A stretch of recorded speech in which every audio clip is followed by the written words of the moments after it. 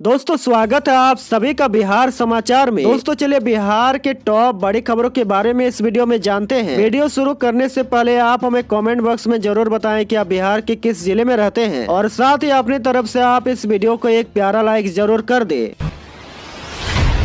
आज की सबसे पहली खबर, होली से पहले यात्रियों के लिए अच्छी खबर। एक्सप्रेस व सुपर फास्ट ट्रेन में फिर से जनरल टिकट मान्य। जी हाँ सुपर फास्ट व एक्सप्रेस ट्रेनों में अब यात्री जनरल टिकट से भी यात्रा कर सकेंगे। कोरोना महामारी को लेकर रेलवे ने वर्ष 2019 में एक्सप्रेस व सुपर फास्ट ट्रेनों के जनरल कोचों में यात्रा के लिए आरक्षित टिकट प्रावधान लागू किया गया था। अब रेलवे ने जनरल बोगियों में यात्रा के लिए आरक्षित टिकट की अनिवार्यता खत्म कर दी है। इस संबंध में पूर्व मध्य रेलवे के सीपीआरओ वीरेंद्र कुमार ने बताया कि कोविड 19 पर रोकथाम के लिए द्वितीय श्रेणी के कोच में यात्रा के लिए आरक्षित टिकट को लागू किया गया था, जिसे अब पूरी तरह से खत्म किया जा रहा है। बड़ी खबर, सिलेंडर अब एक सौ पाँच रूपए महँगा एक मार्च से अब आपके शहर में बदल गया है गैस का दाम। जी हाँ रूस यूक्रेन के जंग के बीच एक मार्च को एलपीजी सिलेंडर के नए रेट जारी हो गए हैं। सिलेंडर के रेट में एक सौ पाँच रूपए का इजाफा हुआ है। यह इजाफा कॉमर्शियल सिलेंडर में किया गया है और बहुत हद तक संभव है की सात मार्च के बाद घरेलू एल सिलेंडर भी महँगा हो जाएगा। क्यूँकी अभी उत्तर प्रदेश विधानसभा चुनाव के छठे चरण की वोटिंग तीन मार्च और सातवें चरण का मतदान सात मार्च को है। ऐसे में सात मार्च के बाद आफत आ सकती है। आपको बता दें की छह अक्टूबर दो इक्कीस के बाद घरेलू एलपीजी सिलेंडर ना तो सस्ता हुआ है ना ही महँगा। अब तक इस दौरान कच्चे तेल की कीमत 102 डॉलर प्रति बैरल के पार चली गई है। हालाँकि इस दौरान कॉमर्शियल सिलेंडर की कीमतों में अच्छा खासा बदलाव देखने को मिला है। आपको बता दें कि अक्टूबर 2021 से 1 फरवरी 2022 के बीच कॉमर्शियल सिलेंडर के दाम में एक सौ बढ़े हैं। अगली बड़ी खबर, पाँच मार्च तक मिलेगा स्टेट का अंक पत्र। दो से पाँच मार्च तक सत्रह हज़ार को दिया जाएगा अंक पत्र। राजेंद्र नगर में बनाया गया है काउंटर। जी हाँ बिहार विद्यालय परीक्षा समिति द्वारा आयोजित स्टेट परीक्षा 2019 के अंक पत्र वितरण के लिए पटना के राजेंद्र नगर में काउंटर बनाया गया है। सेंटर पर पाँच मार्च तक सत्रह हज़ार स्टूडेंट को अंक पत्र दिया जाएगा। शिवरात्रि के कारण एक मार्च को अंक पत्र वितरण का काम बंद कर दिया गया था। शिक्षा विभाग ने कैंडिडेट ऐसी अपील की है की वह पाँच मार्च तक अंक पत्र हर हाल में रिसीव कर ले। आपको बता दें कि वितरण का कार्य सुबह ग्यारह बजे से दोपहर तीन बजे तक चलेगा। पटना ज़िले को प्राप्त अंक पत्रों की कुल संख्या लगभग सत्रह हज़ार है। सभी अभ्यर्थियों से यह अपील है कि वो अपनी सुविधा अनुसार वितरण स्थल राजकीय बालक उच्च विद्यालय राजेंद्र नगर, पटना में बनाए गए काउंटर से अंक पत्र रिसीव कर ले। अगली बड़ी खबर, अगले महीने बिहार में बम्पर बहाली सैतालीस हज़ार प्रधान शिक्षकों को और प्रधान अध्यापकों की होगी नियुक्ति। जानिए कैसी होगी नियुक्ति। जी हाँ बिहार में अगले महीने सरकार बम्पर बहाली करने जा रही है। अप्रैल महीने में बिहार के सरकारी स्कूलों में लगभग सैतालीस हज़ार प्रधान शिक्षकों और प्रधान अध्यापकों की नियुक्ति के लिए विज्ञापन निकाला जाएगा। राज्य सरकार के प्रारंभिक विद्यालयों में चालीस हज़ार पाँच सौ छह प्रधान शिक्षकों और माध्यमिक, उच्च माध्यमिक विद्यालयों में छह हज़ार चार सौ इक्कीस प्रधान अध्यापकों की नियुक्ति करने जा रही है। आपको बता दें दें कि सूबे के सरकारी स्कूलों के प्रधान शिक्षकों और प्रधान अध्यापकों की नियुक्ति के लिए बीपीएससी को जिम्मा दिया गया है। शिक्षा विभाग और बिहार लोक सेवा आयोग के बीच बनी सहमति के आधार पर अगले महीने से नियुक्ति प्रक्रिया शुरू करने का फैसला लिया गया है। साथ ही आपकी जानकारी के लिए बता दें कि दोनों पदों पर नियुक्ति के लिए लिखित परीक्षा होगी, जिसमें डेढ़ सौ वस्तुनिष्ठ सवाल पूछे जाएँगे। अगली बड़ी खबर 31 मार्च के बाद शहरी क्षेत्र में नहीं चलेंगे डीजल वाले तिपहिया वाहन। जी हाँ, पटना के शहरी क्षेत्र में 31 मार्च के बाद डीजल से चलने वाले तिपहिया वाहन यानी ऑटो के परिचालन पर रोक लगा दी जाएगी। परिवहन विभाग के बजट में बिहार स्वच्छ ईंधन योजना दो हज़ार उन्नीस के अंतर्गत पटना नगर निगम दानापुर खगोल और फुलवार शरीफ नगर परिषद क्षेत्र की सीमा में डीजल चलित ऑटो को परिचालन बंद हो जाएगा। जानकारी के अनुसार राजधानी में पैंतीस हज़ार अधिक ऑटो चलते हैं। इसमें सत्तर प्रतिशत ऑटो सीएनजी में तब्दील हो चुके हैं इसमें अब मात्र सात हज़ार डीजल चलित ऑटो पटना ज़िले में इन्हें भी एक महीने के भीतर सीएनजी में तब्दील कर लिया जाएगा। सीएनजी में तब्दील करने के लिए ऑटो चालकों को परिवहन विभाग की ओर से अनुदान दिया जा रहा है। बता दें कि बढ़ते प्रदूषण को लेकर सरकार ने यह फैसला लिया है। इससे पहले बढ़ते वायु प्रदूषण की वजह से पटना नगर निगम, दानापुर, फुलवार शरीफ और खगोल में पंद्रह वर्ष से अधिक पुराने वाहनों के चलाने पर रोक लगा दी गई थी। बड़ी खबर, सर्दी जैसे भीषण होगी इस साल की गर्मी। मार्च के तीसरे हफ़्ते में ही चढ़ जाएगा पारा। जी हाँ बिहार में इस साल सर्दी सबसे लंबी अवधि तक पड़ी है, उसी तरह गर्मी भी खूब सताने की आशंका है। अगर मौसमी दशाओं से अचानक कोई बड़ा परिवर्तन नहीं होता तो मार्च जाते जाते उच्चतम तापमान 40 डिग्री सेल्सियस के आसपास पहुँचने की आशंका है। दरअसल, आईएमडी के लंबे समय के मौसम पूर्वानुमान के मुताबिक मार्च के तीसरे हफ़्ते तक प्रदेश का औसत उच्चतम तापमान पैंतीस से सैंतीस डिग्री सेल्सियस तक पहुँच जाएगा। इसके बाद इसमें आहिस्ता आहिस्ता पारा बढ़ता जाएगा। आईएमडी रिपोर्ट के मुताबिक दक्षिणी बिहार के पठारी इलाकों में पारा, उत्तरी मध्य और पूर्वी बिहार की तुलना में अधिक रहेगा। उत्तरी बिहार में हिमालय की तलहटी में मार्च के अंतिम हफ़्ते तक पारा तीस ऐसी बत्तीस डिग्री सेल्सियस के बीच पहुँचने के आसार बताए जा रहे हैं। वही मौसम विशेषज्ञों के मुताबिक मार्च जाते जाते पारा चालीस के बहुत आसपास पहुँचने के आसार हैं।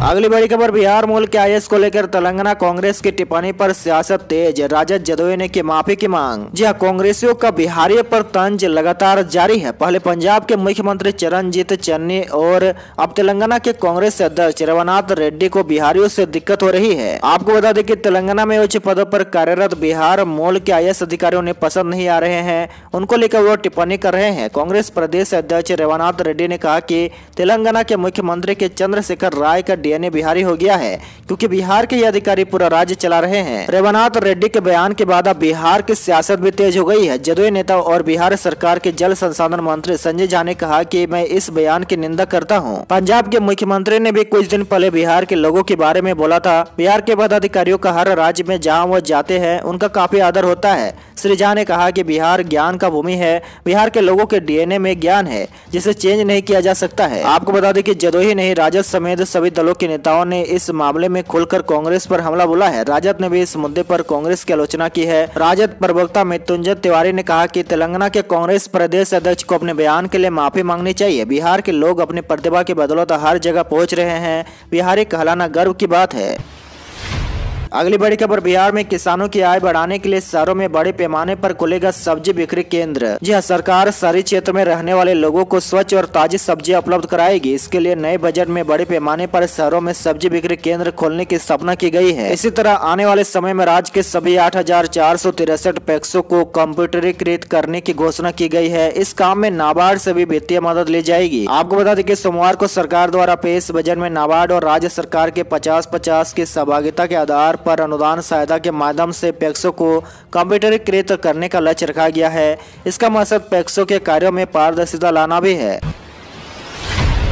अगली बड़ी खबर बिहार सरकार का बड़ा फैसला। टॉपर छात्रों को दिया जाएगा लैपटॉप। जाने किन स्टूडेंट के लिए है ये योजना। जी हाँ, राज्य सरकार अगले वर्ष से विज्ञान दिवस के दिन जिला टॉपर को लैपटॉप देगी। विज्ञान दिवस से पहले एक राज्य स्तरीय प्रतियोगिता आयोजित की जाएगी जिसमें इंजीनियरिंग एवं पॉलिटेक्निक के छात्र भाग लेंगे। उनमें से जिला स्तर पर टॉप करने वाले छात्र को लैपटॉप प्रदान किया जाएगा। ये बातें सोमवार को विज्ञान दिवस के अवसर पर Bihar counselling on science and technology के तत्वाधान पर आयोजित कार्यक्रम में विज्ञान एवं प्रौद्योगिकी मंत्री मंत्री सुमित कुमार सिंह ने कही है। मौके पर राज्य स्तरीय विज्ञान प्रतियोगिता, राष्ट्रीय गणित प्रतियोगिता एवं बाल विज्ञान कांग्रेस के राष्ट्रीय स्तर के विजेता को पुरस्कृत किया गया।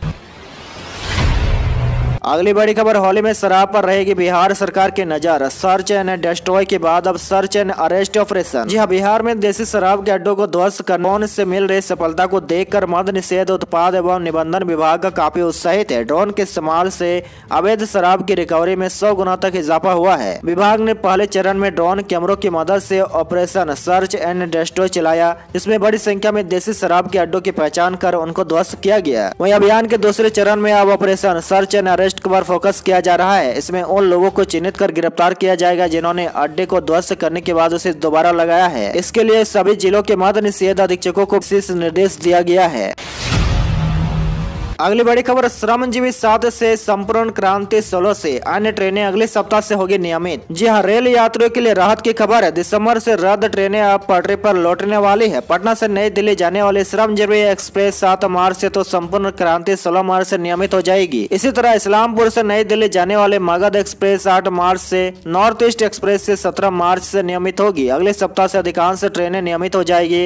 होली से पहले ट्रेनों को नियमित होने से यात्रियों को काफ़ी राहत मिलेगी। साथ ही आपको बता दें कि बंद ट्रेनों के नियमित होने के साथ यात्री इनमें आरक्षण भी करवा सकेंगे। आपकी जानकारी के लिए बता दें कि पूर्व मध्य रेल क्षेत्र में कोहरे के कारण दिसंबर से तीन माह के लिए कई ट्रेनों को रद्द कर दिया गया था। इसके अलावा कई ट्रेनों के परिचालन के दिनों में भी कमी की गई थी। अगली बड़ी खबर, नीतीश कुमार के जन्मदिन पर शराब छोड़ो दूध पियो का लिया संकल्प, जेडीयू कार्यकर्ताओं ने किया रक्तदान। जहाँ बिहार के मुख्यमंत्री नीतीश कुमार के जन्मदिन को जेडीयू विकास दिवस के रूप में मनाया गया। सीएम नीतीश कुमार के जन्मदिन को खास बनाने के लिए जेडीयू कार्यकर्ताओं ने रक्तदान किया। इसके अलावा नीतीश कुमार के सबसे खास फैसले, शराबबंदी को सफल बनाने के लिए लोगों को उसके जन्मदिन के मौके पर दूध पिलाया गया। जेडीयू कार्यकर्ताओं ने पटना के सड़कों पर शराबबंदी को सफल बनाने के लिए जागरूकता अभियान भी चलाया और शराब छोड़ो दूध पियो की अपील करते हुए लोगों को दूध पिलाया गया।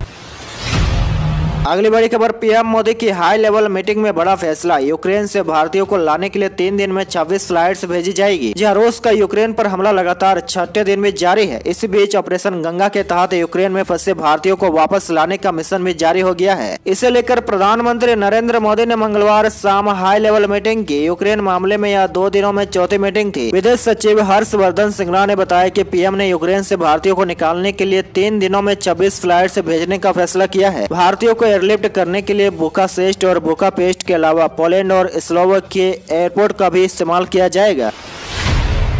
अगली बड़ी खबर है, यूक्रेन में अब भी फंसे बिहार के साढ़े तीन सौ स्टूडेंट। सबसे ज़्यादा मोतिहारी से चौसठ, पटना के बेअर्थिस छात्र, तीन दिन में तिरासी की हुई वतन वापसी। जी हाँ यूक्रेन में जारी संघर्ष के बीच केंद्र सरकार के ऑपरेशन गंगा से अभी तक तिरासी बच्चे सुरक्षित बिहार लौट चुके हैं। अभी भी करीब साढ़े तीन से ज़्यादा बच्चों के वहाँ फंसे हुए होने की सूचना है।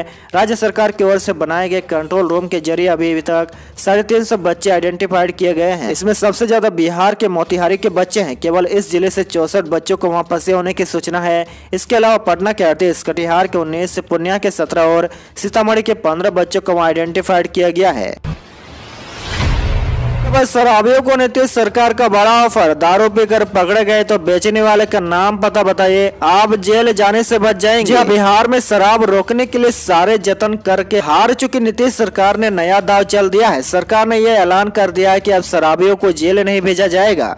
शराब पीकर गिरफ़्तार हुआ आदमी अगर ये बता देता है कि उसने शराब कहाँ से और किससे खरीदी है तो सरकार उसे जेल नहीं भेजेगी। वैसे सरकारी अमले से जो जानकारी मिल रही है उसके मुताबिक शराब मामले में सुप्रीम कोर्ट से सख्त तेवर से सत्ता में बैठे लोग सख्त में है। लिहाजा आनंद फानन में नियम कायदे बदले के ऐलान किए जा रहे हैं। आपको बता दें कि बिहार सरकार के उत्पाद व मद निषेध विभाग की ओर से कल बाकायदा प्रेस कॉन्फ्रेंस कर इसका ऐलान किया गया है। आज के लिए आपका सवाल बताया की गैस सिलेंडर के दाम बढ़ने से आम लोगों पर क्या असर पड़ेगा? इसका जवाब आप हमें नीचे कॉमेंट करके ज़रूर बताएँ।